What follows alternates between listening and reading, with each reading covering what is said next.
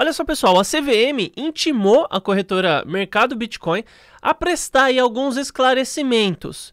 E agora a coisa pode ficar feia dependendo do que acontecer, tá? Vamos comentar a respeito disso. Meu nome é Marcos Eduardo, sejam bem-vindos ao canal Dinheiro Cripto. Desde já te convido a se inscrever ativar o sino das notificações para ficar sempre por dentro de tudo que acontece. Deixa aquele like para você avisar pro, pro algoritmo que o que a gente produz aqui é algo útil, algo que tem alguma serventia para você e você me ajuda também bastante. É, o primeiro link na descrição será referente à Binance, essa que é a maior corretora de criptomoedas do mundo. E usando o meu link para se cadastrar, você vai ter 15% de desconto em todas as taxas de trade. Tá? Tendo dito isso, eu tenho que contar um negócio para vocês sobre essa notícia aqui, tá? Sobre essa informação. A Mercado Bitcoin, ela é uma corretora que faz parte do mesmo grupo de um portal de notícias chamado Portal do Bitcoin, tá? Para ser sincero, eu não sei se é o mesmo grupo de empresas que está sob o guarda guarda-chuva de uma empresa maior ou se diretamente o Portal do Bitcoin é da mercado Bitcoin. Eu não sei te dizer, mas existe uma conexão muito forte entre as duas empresas. E o que acontece é que a mercado Bitcoin faz parte de uma instituição chamada AB Cripto, tá? A AB Cripto, ela se declara como a voz da criptoeconomia no Brasil.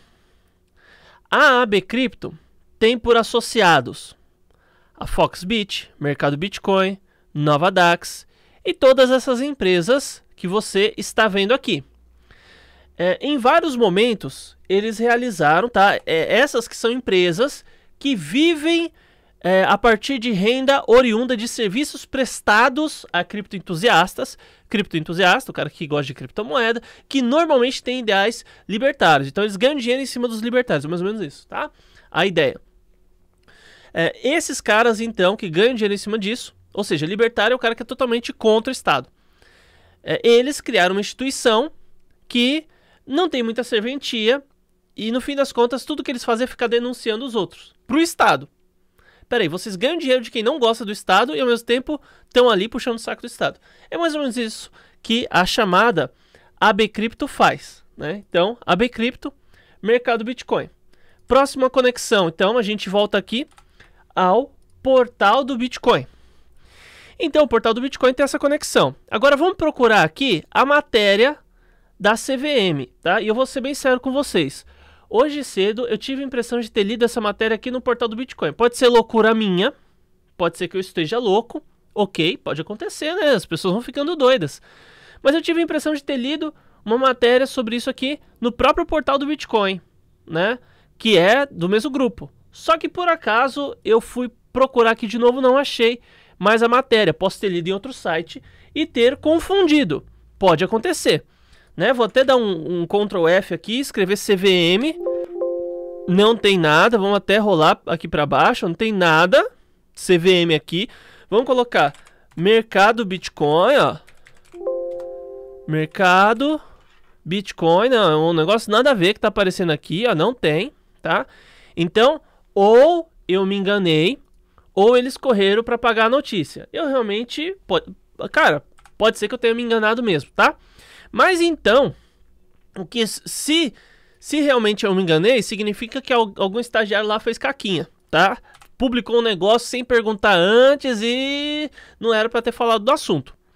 Agora, se de repente a matéria não saiu, então ou é porque eles estão escrevendo aí na matéria e logo logo vai sair, ou é porque quando é, tá falando do, de uma empresa que tem uma conexão com o próprio portal, aí não, a gente não comenta a, assuntos ruins, tá? É, pode ser isso também, né? Porque assim, quando é para falar da Binance ou denunciar a Binance, eles são os primeiros. Ó, Binance não sei o que, Binance, Binance, Binance, Binance, Binance, é o tempo todo Binance e batendo nas corretoras, principalmente as internacionais. Por quê? Porque eles cagam de medo das corretoras internacionais. Porque as corretoras internacionais, eles têm mais grana para investir, eles têm mais volume. É bem mais... Até gente que trabalha, às vezes, como influência, consegue divulgar melhor as corretoras internacionais. Cara, na boa, é, corretora nacional, eu divulgo? Até divulgo. Mas é assim, é, como referência, é bem mais difícil você trabalhar.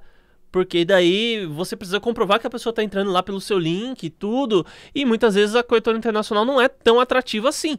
Né? Então eu prefiro trabalhar com a Binance. A Binance não está me pagando para eu falar dela.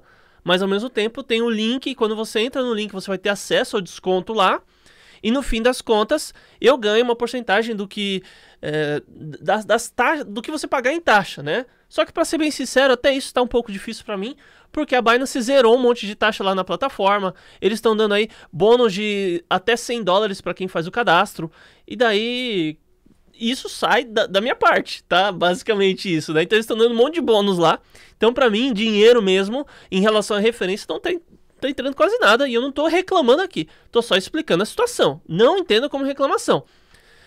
E também acho que o portal do Bitcoin está no direito deles de não tocar no assunto, cara. Se de repente é alguém da minha família que está tendo um problema, talvez eu prefira não, não fazer vídeo a respeito, né? Quem sabe? Mas olha aqui.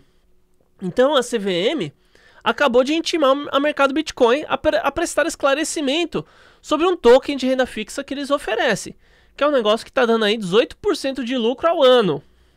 Eu vou ler aqui a matéria e a gente vai comentar Quais são as possíveis implicações disso? Então, ó, a Comissão de Valores Mobiliários intimou a exchange de criptomoedas do mercado Bitcoin a prestar esclarecimentos sobre uma modalidade de investimento baseada em tokens de renda fixa que é oferecida pela empresa em sua plataforma de negociação.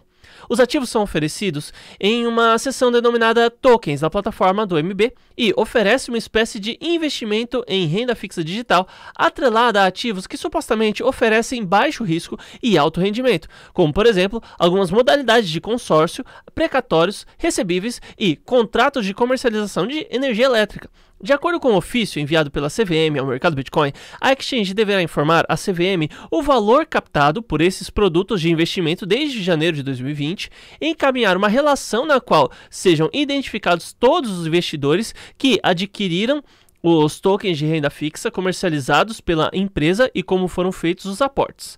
A CVM pede ainda que o MB, o mercado Bitcoin, informe se pretende manter ativo os serviços de comercialização de, é, desta classe específica de ativos digitais. A CVM informa que o MB pode sofrer ações cautelares caso sejam verificadas irregularidades nas ofertas do token de renda fixa.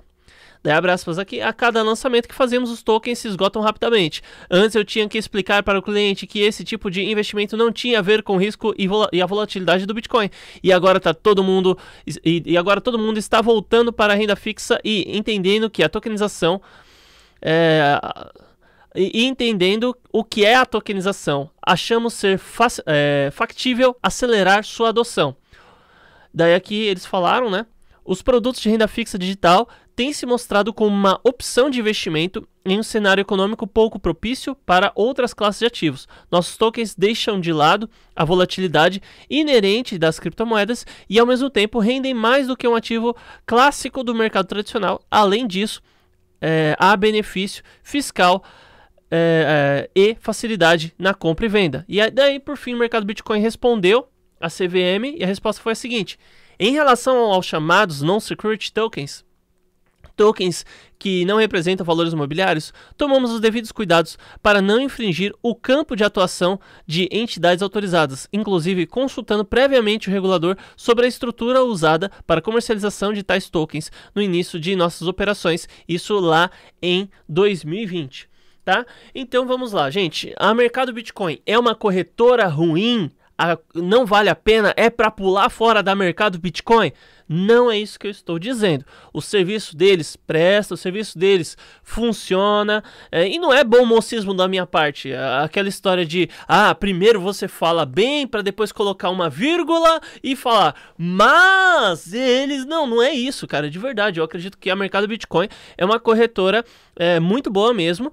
É, e o meu problema, aliás, o problema não é meu problema, né? Mas o, o que me desagrada neles é só em relação à postura, tá? Postura e esse negócio de AB Cripto, querer regulamentação. Então eu sei que a Binance também quer, óbvio. Isso também me desagrada na Binance. E, eu vejo que amanhã ou depois a Binance talvez entre aí para pra AB Cripto também. Pode, pode ser que aconteça, cara. Por que não? Né? Também não põe minha mão no fogo por empresa nenhuma.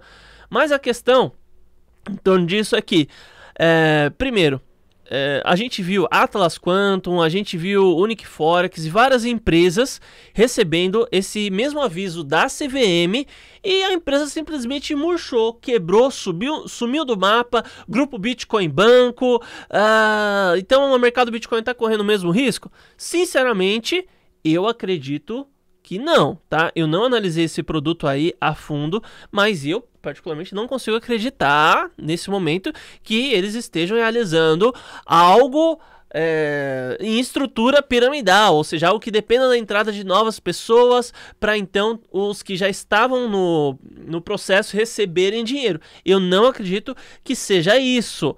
E a CVM também, de primeiro momento, não está falando nada nesse sentido. Eles querem só entender questões de regulamentação. Agora, algo que eu estou achando meio bosta por parte da CVM é, é o seguinte.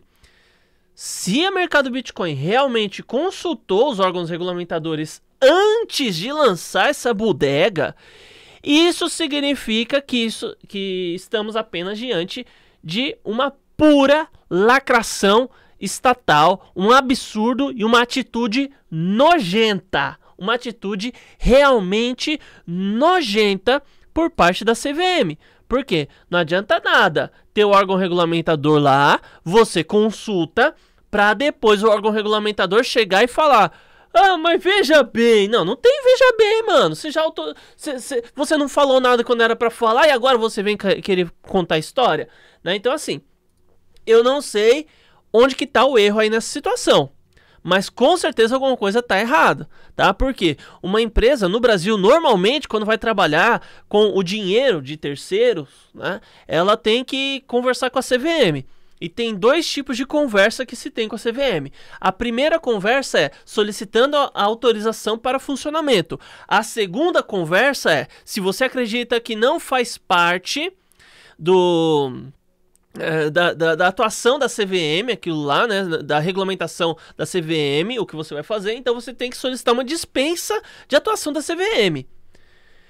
Eles estão falando que eles chegaram a fazer uma consulta. Ó, olha aqui. Exatamente como eles disseram. Inclusive consultando previamente o regulador sobre a estrutura usada para comercialização de tais tokens no início das operações em 2020. Então, não tem como saber exatamente onde isso daqui vai dar, mas tem algo muito errado. Ou o mercado Bitcoin mentiu nesse ponto aqui, ou a própria CVM está mentindo. Então, entre escolher, é, se for para escolher entre governo e instituição privada, eu vou na instituição privada, cara, na boa. Mas vamos ver o que, que dá isso aqui, tá? Então, inscreva-se aí no canal, ative o sino das notificações, deixa aquele like e até mais.